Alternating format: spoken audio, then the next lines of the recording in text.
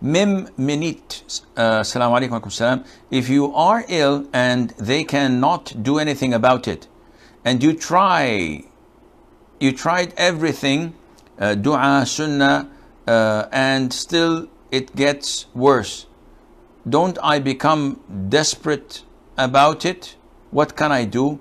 Well, you can't do anything but to continue making dua, hoping that Allah Azza wa Jal would reward you for it. Because at the end of the day, it is not, Simon says, and it happens. It is not making dua and boom, it's in front of me. No. You are a slave of Allah Azza wa Jal.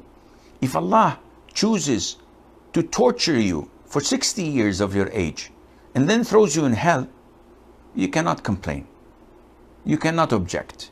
You cannot do anything about it. You are Allah's property. So the only way for you out is to acknowledge my life in this life is a mere test. Allah Azza wa Jal is testing us. So you have to acknowledge the fact that what you're going through is a test from Allah. And you have no alternative, no choice but to be patient, to be content, not to object, not to complain, but rather acknowledge that all what is happening to you has been preordained 50,000 years before Allah created the creation. So it's done and over with.